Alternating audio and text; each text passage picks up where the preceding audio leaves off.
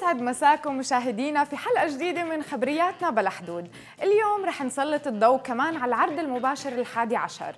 معي رح تتابعوا فيديوهات المشتركين مين رح يغادرنا ومين رح يضل معنا. وفي البداية رح نشوف سوا شو قدم المشترك نور الدين أمين عن فئة الأفلام والسينما في التحدي الحر. I do know that, yeah, but that's no fun. هذا الفيلم هو التعاون الثاني بين The Rock دوين جونسون والمخرج براد بايتن التعاون الأول كان على فيلم سان اندرياس ولو ذاك الفيلم ما حلو. بس خلينا نشوف هذا الفيلم. تعالوا. قصة الفيلم عن معركة بين غوريلا تصير عملاقة من وراء تجربة طبية ومعركتها مع تمساح عملاق وذيب عملاق وعضلات The Rock العملاقة. كل هذا بفيلم واحد. خلينا نشوف. أكيد الفيلم مسلي. يلا. راح يبدأ الفيلم. Two hours later. واو. الفيلم سخيف وممل جدا. ليش؟ ليش؟ السيناريو كان غير موفق الحوارات غير ناضجة الأحداث تتوقعها من أول لقطة عبارات غير مضحكة ويحطون The Rock بمواقف حتى لو سبع البرمبة ما يطلع من عندها أما أسوأ شيء بالفيلم كانوا الأشرار حواراتهم سخيفة تمثيلهم سيء وردود أفعال معلبة من كل الشخصيات مصحوبة بمؤثرات بصرية الفيلم كانت غير مقبولة. مع الأسف على هذا الفيلم اللي تحمست له وتوقعت أنه راح ينقذ الأفلام اللي مقتبسة من ال video games تقييمي الفيلم أربعة من عشرة. please لا تضيعون وقتكم وتجنبوا هذا الفيلم. مع السلامة. يارا وهي عم بتشوف فيديو نور الدين كانت عم تضحك كتير. خلينا نتابع ونشوف ليش. يارا سمعتك شفتك عم تضحكي. شو رأيك بإبداع نور الدين؟ ما راح أشوف الفيلم كلش. هذا أول شيء. وصلت الرسالة. لا وصلت الفكرة. لا أول شيء انصدمت بال- بالفكرة قد إيه جديدة وقد إيه نحن يعني متوقعين إنه يخبرنا عن فيلم قد إيه حلو روحوا احضروه بس إنه مش حلو سخيف سخيف. ما لا ومعصب عم يحكي معصب وبهيك بردة فعل يارا انصدمت من الفيلم اللي قدمه نور الدين بالتحدي الحر. وما حبت الفيلم وحست إنه سخيف وما رح تروح تحضره. بس يارا حبت شيء بالمشترك نور الدين. أنا بحب كثير لهجته العراقية. إيه، فببقى هيك مركزة معه بالتفاصيل وال آه، ما بعرف I like شكرا. شكرا. like like وسألنا فايا كيف كانت كتابة نص الفيديو اللي قدمه المشترك نور الدين عن فئة الأفلام والسينما كثير نور حبيت الدين. يعني آه وقد إيه عم تحكي بشغف يعني عن جد مثل ما قالوا صدقنا إنه أنت عن جد مهتم وحتى بفهم غضبك لأنه قد ما عملوا له marketing وتسويق للفيلم كانت التوقعات كثير عالية وكل حدا فات قال لي ما تحضري فحسيت أدائك آه، يعني مقنع والنص حلو لأنه فيه هيك حس الفكاهة يعني له التمثيل. مم، مش النص ال- الفيلم. وسألنا نور الدين أي نوع من الأفلام اللي بحبها. أكثر أفلام أحبها هي ال science fiction الخيال العلمي وأفلام الكوميدي. وأنت كمان وائل الرعب. الرعب. آه. أنا مو كثير أحب لازم الرعب. كنت أتوقع مع انه ما حد سألني بس الرعب. آه أوكي. وفي التحدي الحر نور الدين أبدع في اللي قدمه. وكان آراء لجنة الحكم جدا إيجابية. نتابع ونشوف شو كانت علاماته. خلينا نشوف العلامة إذا بترعب ولا آه. 74 يارا أنت أعطيتي علامة كاملة. رح نضيف ال 74 على العلامة الأولى وبنشوف مجموعة العلامة. 140 وبالمرتبة الأولى لهلأ نور الدين. شكرا. مشاهدينا منروح فاصل وراجعين.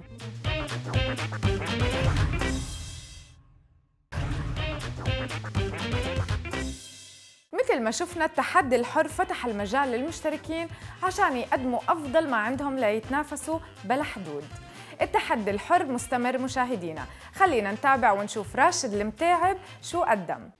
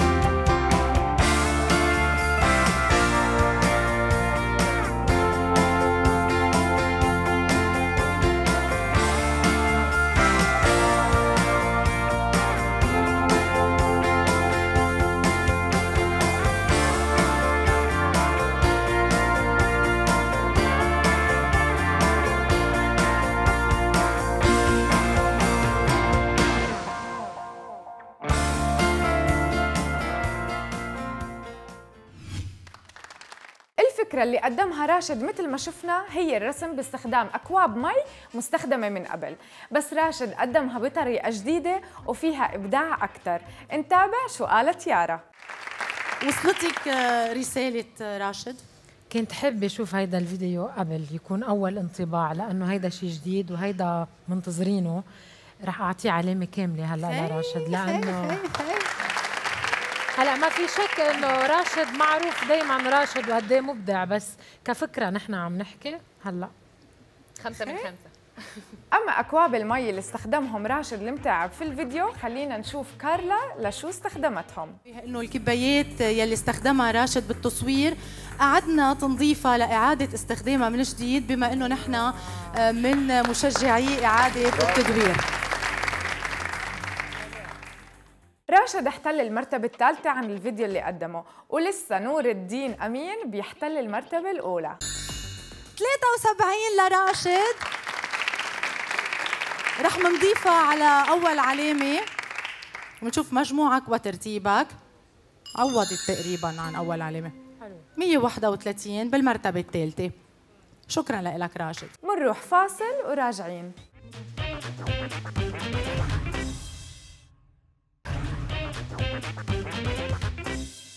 أما جنان وكيل من سوريا عن فئة الشعر خلينا نتابع كيف قدمت مضمون التحدي بطريقتها.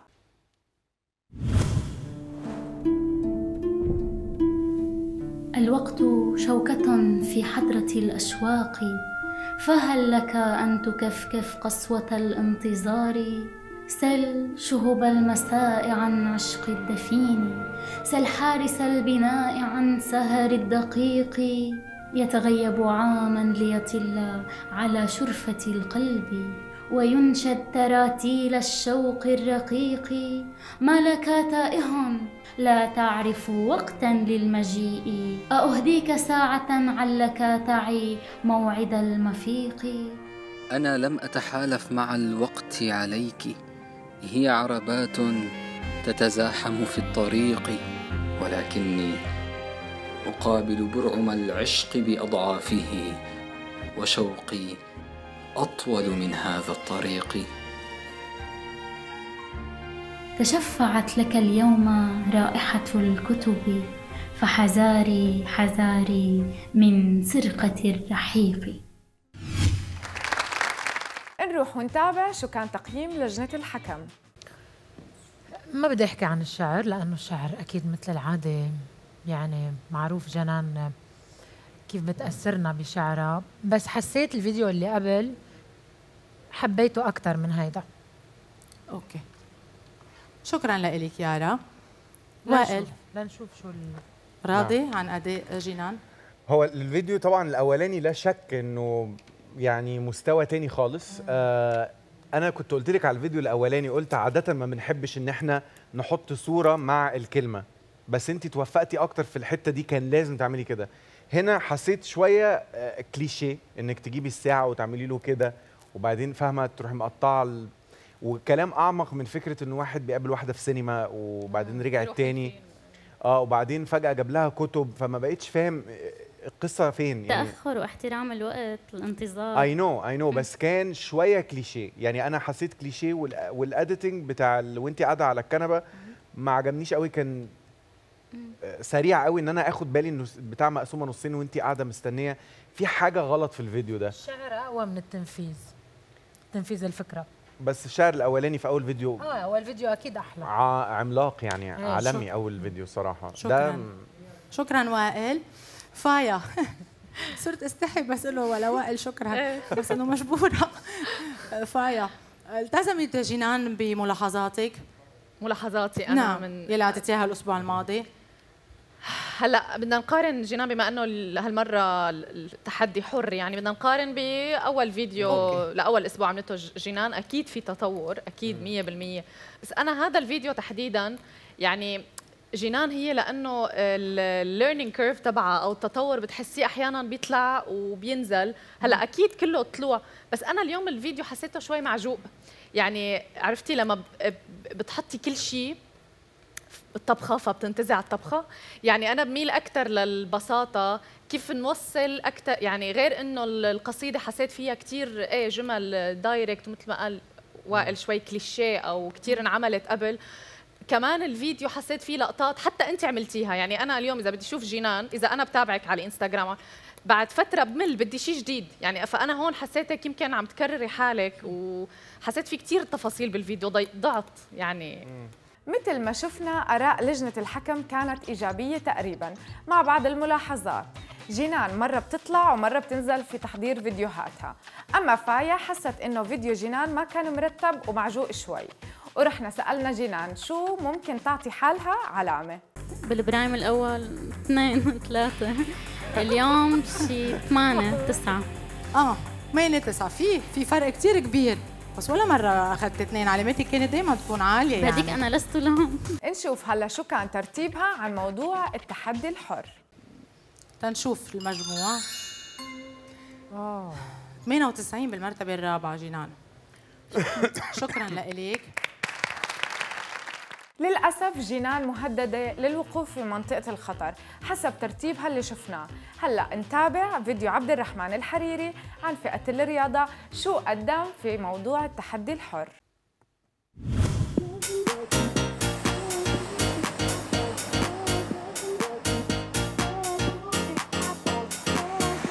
هلأ صار الجو حار وبلشت العالم تنزل على البحر.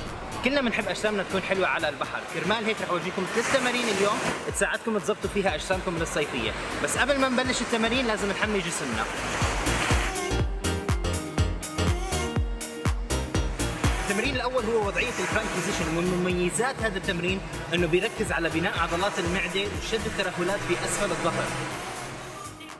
التمرين الثاني بيساعد على شد المؤخرة والتخلص من السلولايت اللي موجودة بالارداف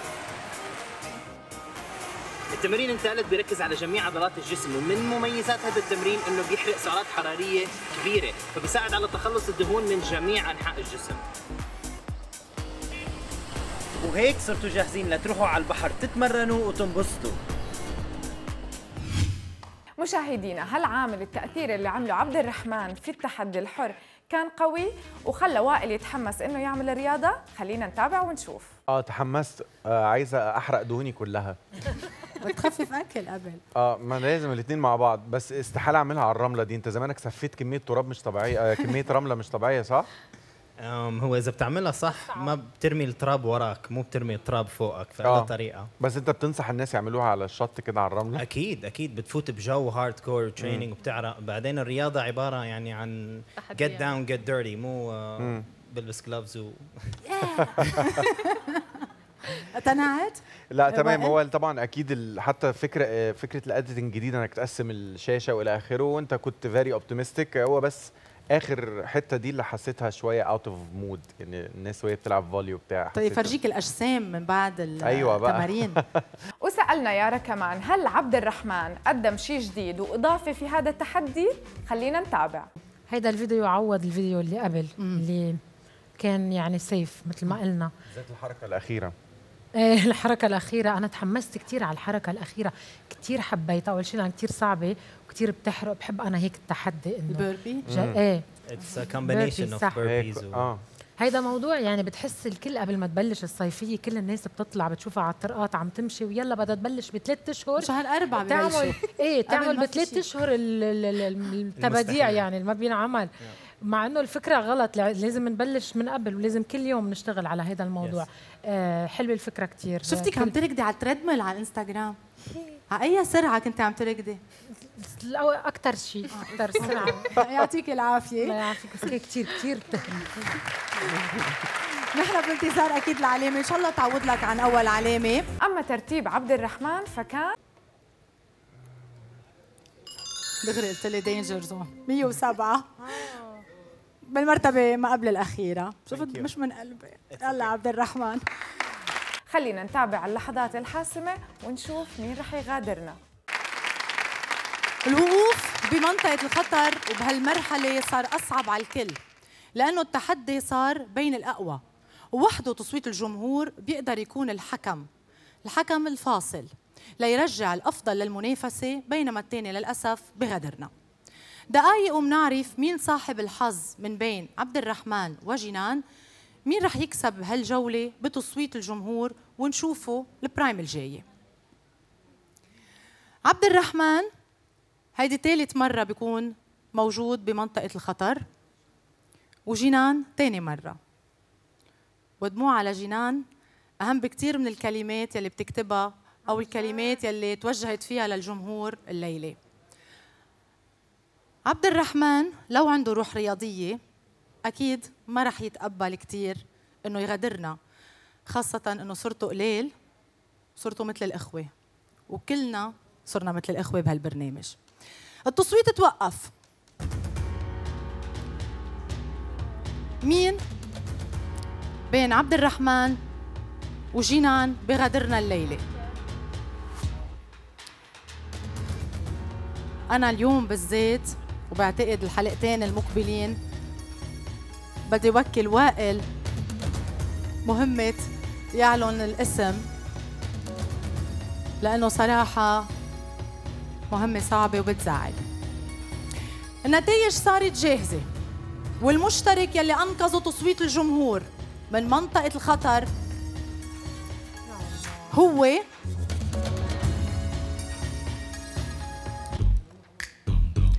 جنان وكيل ألف مبروك لإلك. عبد الرحمن تمنياتي إلك بالتوفيق.